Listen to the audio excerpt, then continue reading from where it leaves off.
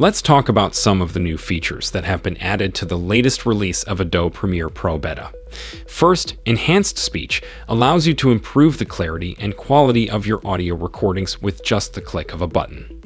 For example, this is what my audio sounds like before using Enhanced Speech. Hi, I'm Keelan Matthews and I'm a track coach. And this is what my audio sounds like to use this feature. Highlight the clip you want to enhance. Go to your Essential Sound panel and make sure that your clip is tagged as dialogue. And if you're working with multi-channel audio, you can now select individual channels or a mix for transcription. AI-based audio category tagging automatically puts the most relevant tools at your fingertips.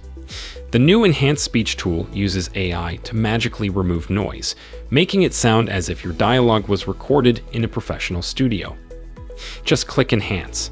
Hi, I'm Keelan Matthews and I'm a track coach and adjust the mix amount.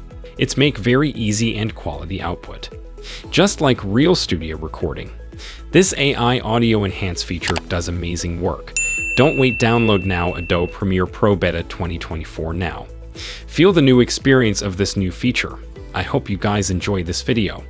Thanks for watching and see you in the next video.